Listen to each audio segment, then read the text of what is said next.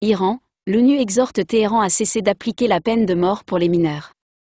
Téhéran a procédé vendredi aux exécutions d'un jeune homme de 17 ans et d'un homme de 22 ans. L'Iran est une nouvelle fois critiqué sur son non-respect des droits humains. Les Nations Unies ont déploré mardi les exécutions vendredi d'un jeune homme de 17 ans et d'un homme de 22 ans dans le pays et ont exhorté Téhéran à cesser immédiatement d'appliquer la peine de mort. L'exécution de Hamid Reza Azari, qui était accusé de meurtre, est la première exécution signalée d'un enfant délinquant présumé en Iran cette année, a regretté Elisabeth Trossel, porte-parole du Bureau des droits de l'homme des Nations Unies.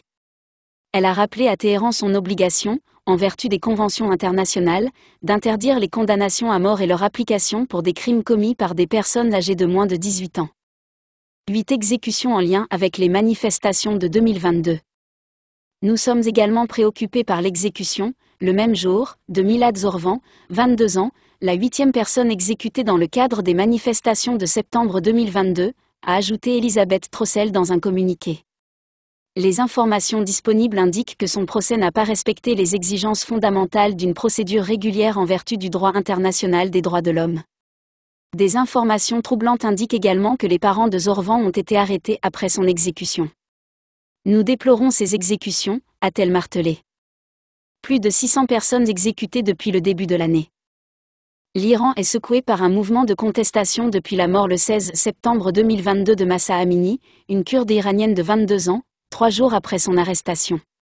La police des mœurs lui reprochait d'avoir enfreint le code vestimentaire strict imposant aux femmes notamment le port du voile dans la République islamique.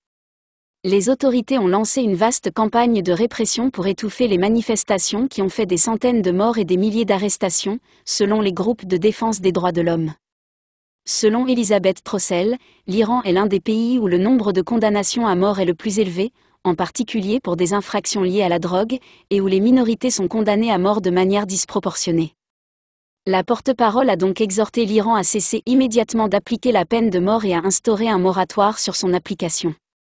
Plus de 600 personnes ont été exécutées en Iran depuis le début de l'année, le chiffre annuel le plus élevé depuis 8 ans alors qu'il reste encore deux mois avant la fin de l'année, selon Iran Human Rights, IHR, basé en Norvège.